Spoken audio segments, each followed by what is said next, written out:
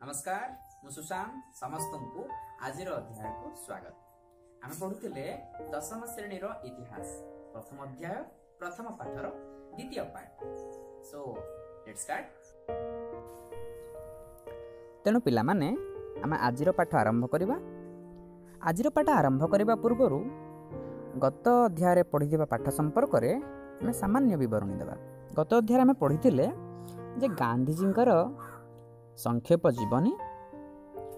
ଗାନ୍ଧିଜୀଙ୍କର ଦକ୍ଷିଣ ଆଫ୍ରିକାରେ ବା ଦକ୍ଷିଣ ସାଉଥ ଆଫ୍ରିକାରେ ଗାନ୍ଧିଜୀଙ୍କର ଗୋରା କଳା ଏଇ ଯେଉଁ ଭେଦଭାବ ସମ୍ପର୍କରେ ତାଙ୍କର ଅନୁଭବ।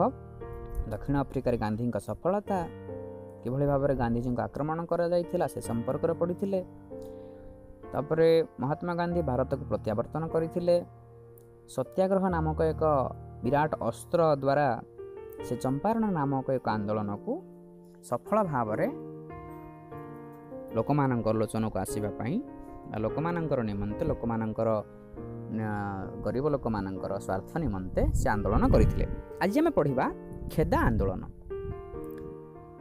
ତେଣୁ ଆଜି ଆମେ କ'ଣ ପଢ଼ିବା ସେ ସମ୍ପର୍କରେ ପ୍ରଥମେ ଆମେ ଆଲୋଚନା କରିବା। ଆଜି ଆମେ ଚାରୋଟି ପଏଣ୍ଟ ପଢ଼ିବା।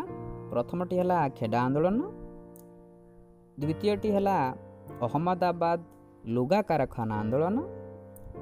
ତୃତୀୟଟି ହେଲା ରାୱଲାଟ ଆଇନ ବିରୋଧରେ ଆନ୍ଦୋଳନ ଏବଂ ଚତୁର୍ଥ ବା ଶେଷଟି ହେଲା ଜାଲିଆନା ୱାଲାବାଗ ହତ୍ୟାକାଣ୍ଡ।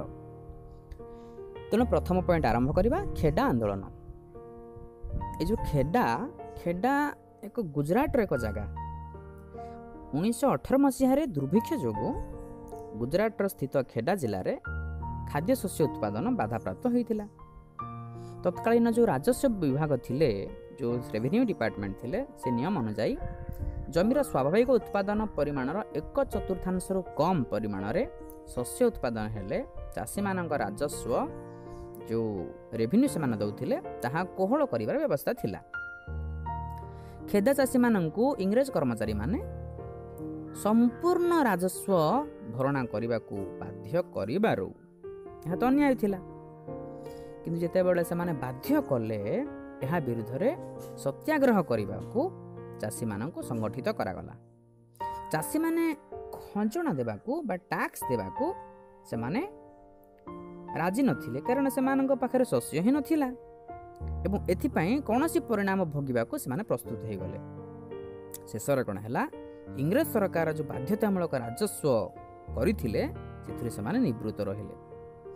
ଏକ ଗୁପ୍ତ ନିର୍ଦ୍ଦେଶନାମା ଜାରି କଲେ। କେବଳ ସାମର୍ଥ୍ୟ ଥିବା ଚାଷୀମାନଙ୍କ ଠାରୁ ଏହା ଆଦାୟ କରାଯିବ।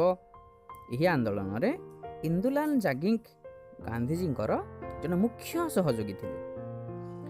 ଆନ୍ଦୋଳନରେ ଯେଉଁ ସଫଳତା ପାଇଲେ ସେ ଗଭୀର ଭାବରେ ପ୍ରଭାବିତ ହୋଇ ଖେଡା ଜିଲ୍ଲାର ଅଧିବାସୀ ତଥା ଅହମ୍ମଦାବାଦର ଆଇନଜୀବୀ ସର୍ଦ୍ଦାର ବଲ୍ଲଭ ଭାଇ ପଟେଲ ଗାନ୍ଧିଜୀଙ୍କର ଜଣେ ପ୍ରଧାନ ଅନୁଗାମୀ ହୋଇଗଲେ।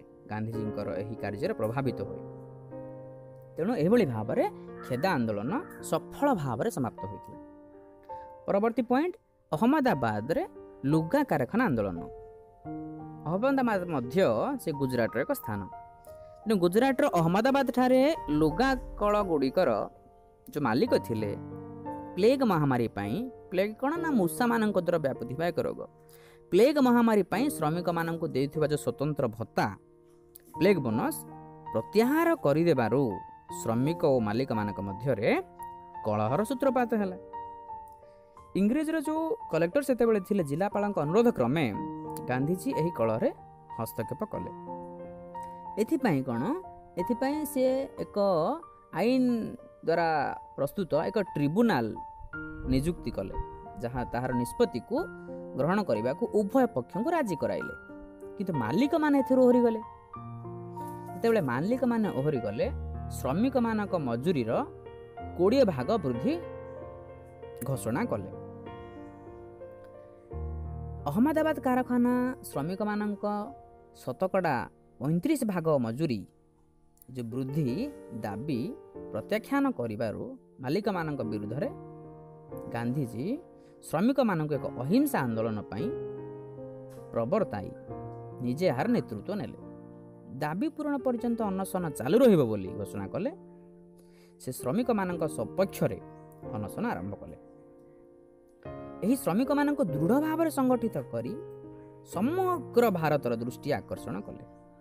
ଏଥିରେ ଭୟଭୀତ ହୋଇ ପରିଶେଷରେ ଯେଉଁ କାରଖାନାର ମାଲିକ ଥିଲେ ଶ୍ରମିକମାନଙ୍କର ମଞ୍ଜୁରୀ ପଇଁତିରିଶ ଭାଗ ବୃଦ୍ଧି କରିବା ପାଇଁ ସମ୍ମତି ପ୍ରକାଶ କଲେ। ପ୍ରଥମେ କୋଡ଼ିଏ ପ୍ରତିଶତ କହିଥିଲେ କିନ୍ତୁ ଏବେ ପଇଁତିରିଶ ପ୍ରତିଶତ ଦେବା ପାଇଁ ସମ୍ମତି ପ୍ରକାଶ କଲେ।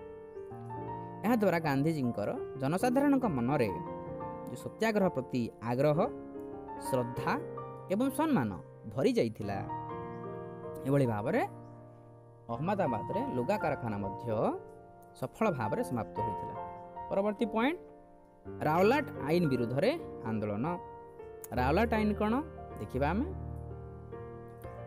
ଚମ୍ପାରନ ଖେଦା ଓ ଅହମ୍ମଦାବାଦ ଠାରେ ସଂଗଠିତ ଆଞ୍ଚଳିକ ଆନ୍ଦୋଳନଗୁଡ଼ିକର ସଫଳତା ଗାନ୍ଧିଜୀଙ୍କ ନେତୃତ୍ୱ ଥିଲା ତାହା ଜନସାଧାରଣଙ୍କ ମନରେ ଆସ୍ଥା ବୃଦ୍ଧି କରିଥିଲା ଏବଂ ତାକୁ ସମଗ୍ର ଭାରତରେ ଜନସାଧାରଣଙ୍କ ନିକଟରେ ପରିଚିତ କରାଇଥିଲା।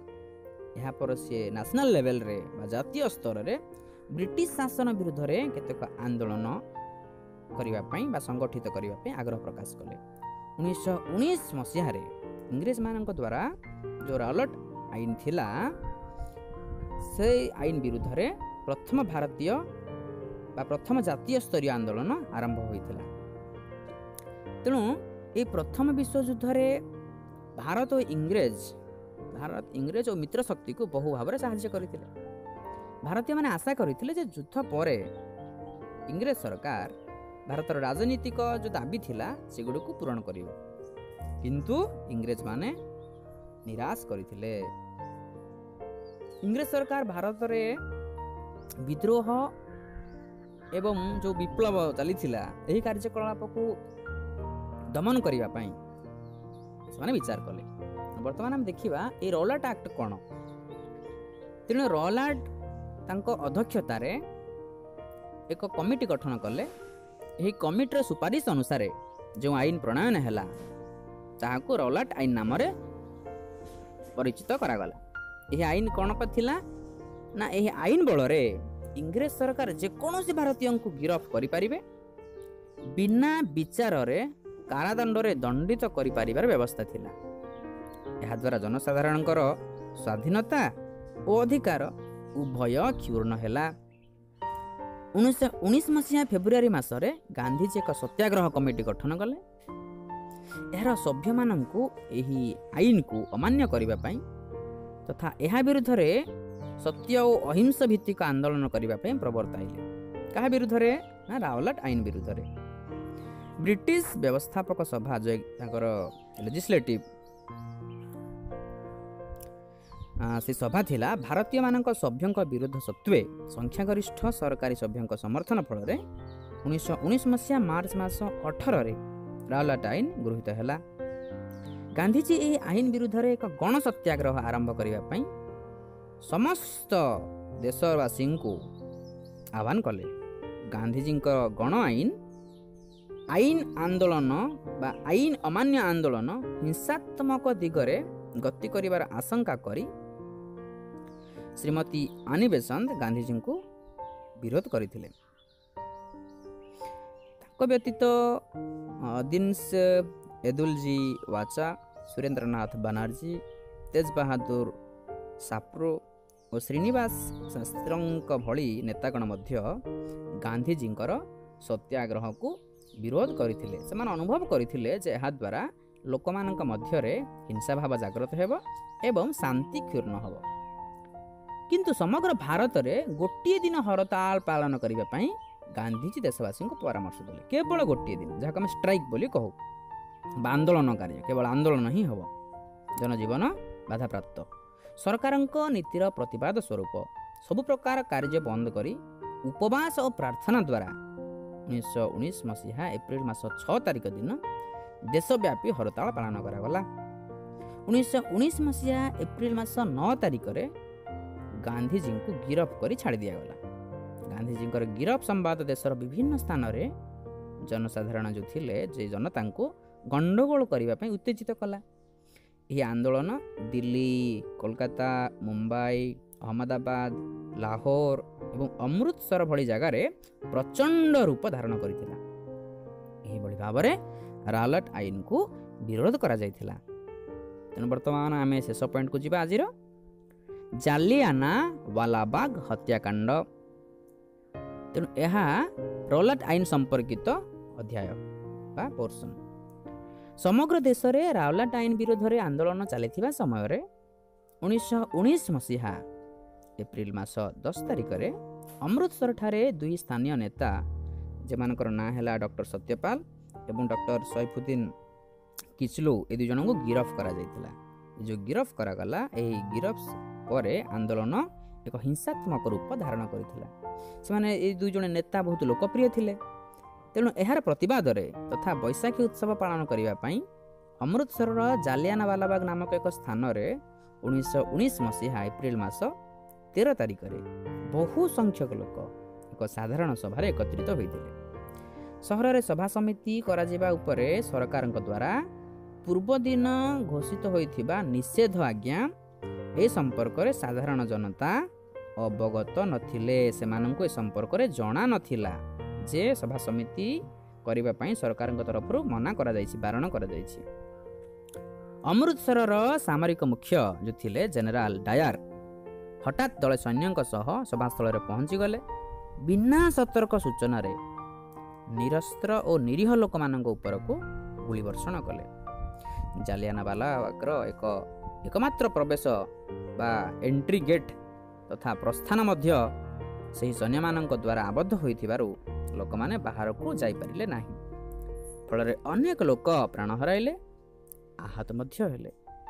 ସରକାରୀ ହିସାବ ଅନୁଯାୟୀ ମୃତକଙ୍କ ସଂଖ୍ୟା ତିନିଶହ ଅଣାଅଶୀ ହୋଇଥିବା ସମୟରେ ଆହତଙ୍କ ସଂଖ୍ୟା ବାରଶହ ହୋଇଥିଲା।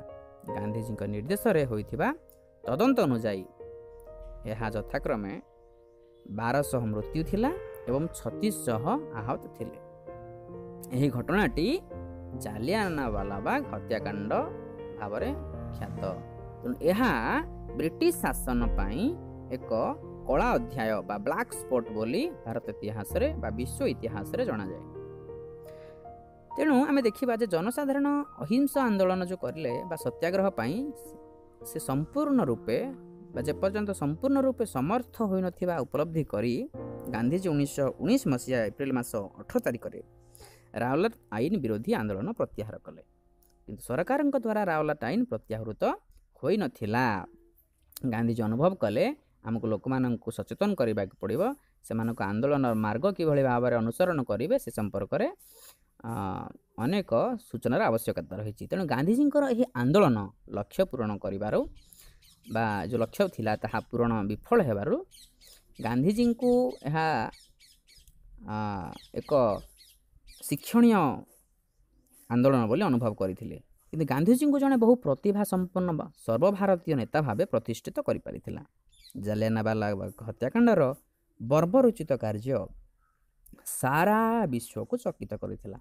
ଅମୃତସରର ଘଟଣା ପରେ ପଞ୍ଜାବରେ ସାମାଜିକ ବ୍ୟବସ୍ଥା ପରବର୍ତ୍ତୀ ସମୟରେ ସାମରିକ ଆଇନ ମଧ୍ୟ ଘୋଷିତ ହୋଇଥିଲା। ଏବଂ ଏଠାକାର ଯେଉଁ ଜନତା ଥିଲେ ଅକଥନୀୟ ଅତ୍ୟାଚାର ସେମାନଙ୍କୁ ସମ୍ମୁଖୀନ ହେବାକୁ ପଡ଼ୁଥିଲା। ଏହି ଘଟଣା ପ୍ରଚାରିତ ହେବା ଫଳରେ ସମଗ୍ର ଦେଶରେ ଆତଙ୍କର ବାତାବରଣ ଖେଳିଯାଇଥିଲା। ଅତ୍ୟନ୍ତ ଘୃଣାର ସହିତ ଗାନ୍ଧିଜୀ ବ୍ୟକ୍ତ କଲେ ଯେ କୌଣସି ପ୍ରକାରରେ ଭାରତୀୟମାନେ ସରକାରଙ୍କର ଐତିହାସିକ ପ୍ରବୃତ୍ତିକୁ ଗ୍ରହଣ କରିବା ପାପ।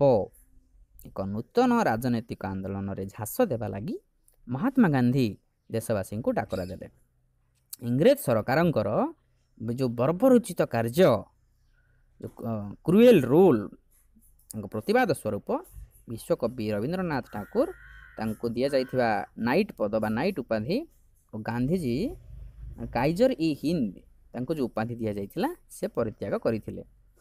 ତେଣୁ ଏଭଳି ଭାବରେ ଏ ମହାନ ନେତା ସାରା ଦେଶରେ ପ୍ରସିଦ୍ଧ ହେବା ସହିତ ସାରା ବିଶ୍ୱକୁ ନିଜର ଦୃଢ଼ ନେତୃତ୍ୱ ବଳରେ ଚମକାଇ ଦେଇଥିଲେ। ତେଣୁ ପିଲାମାନେ ଏଠାରେ ଆମର ଏହି ଚାପ୍ଟର ସରିଯାଇଛି। ଆମେ ପରବର୍ତ୍ତୀ ଯେଉଁ ଅଧ୍ୟାୟ ପାଠ ପଢ଼ିବା ସେଥିରେ କିଛି କ୍ୱେଶ୍ଚିନ୍ ଆନ୍ସର୍ ଡିସ୍କସନ୍ କରିବା। ଯାହାଦ୍ୱାରା ତୁମମାନଙ୍କର ଯେ ଡାଉଟ୍ ଥିବ ସେ ଡାଉଟ୍ ଗୁଡ଼ିକ ଅତି ସହଜରେ ସମାଧାନ ହୋଇପାରିବ। ଓକେ ତେଣୁ ସମସ୍ତେ all of you take care ନିଜ ନିଜର ଯତ୍ନ ନିଅ ପଢ଼ାର ଯତ୍ନ ନିଅ। Prepare for your final examination thank you all